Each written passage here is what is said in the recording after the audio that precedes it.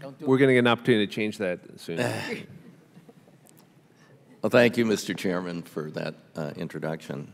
Uh, You know, this, uh, this is a critical legislation. The Corps of Engineers has a critical mission, uh, maintaining our waterways uh, for movement of uh, freight and commerce and international competitiveness, and uh, also uh, maintaining uh, for uh, recreational and, and other purposes. As uh, the subcommittee uh, chairman said, uh, we have a $100 billion backlog of unfunded projects. We're going to add to that today. Um, These projects have merit, uh, and then we're also going to uh, order the Corps to uh, complete some ongoing studies, and we're going to offer some new projects for the Corps to study. The critical thing is money. Now, the administration actually has an interesting solution. Uh, we collect almost $2 billion a year in a tax, which was uh, endorsed by Ronald Reagan, which is dedicated uh, to uh, our harbors, the maintenance of our harbors. And it's a minuscule sales tax on imported goods, ad valorem tax that flow through our, our ports. And every year, Congress underspends that despite the $100 billion queue of projects uh, that have been authorized, and adds to a theoretical account somewhere else in the government, which now has almost $10 billion in it. Uh, That would do a lot of, uh, you know, uh, high-priority projects across the country to spend that $10 billion. But we could at least, if we can't do that, begin to spend the full amount of the tax as it comes in every year.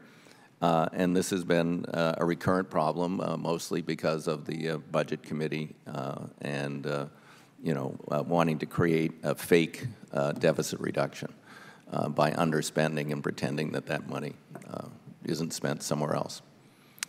Now, the administration has proposed to, to, to solve that. I've, you know, I've been plugging away at this since Bill's dad was here to try and create a real trust fund. The administration has a very interesting solution. Let's cut the tax. We're going to cut the tax so that to match the amount of money we're spending, uh, so we never ever begin to deal with the backlog of projects.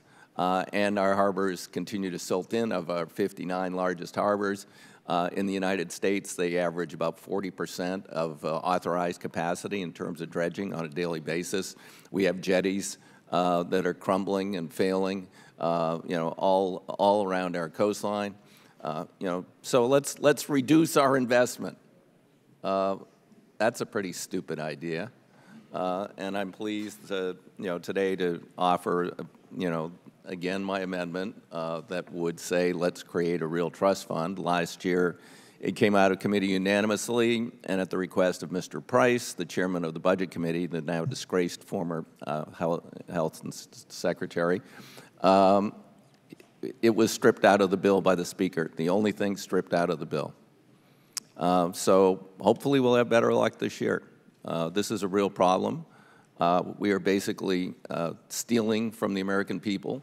Uh, They're paying a tax every time they buy an imported good, and Congress is stealing half that money and not spending it on the needed and intended purpose.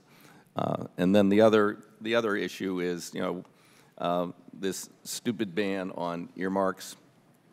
Uh, You know, we have, we have, uh, you know, a black box. Uh, You know, things are submitted to the Corps of Engineers, they go through a secretive process, and then they decide what they think uh, should be authorized projects.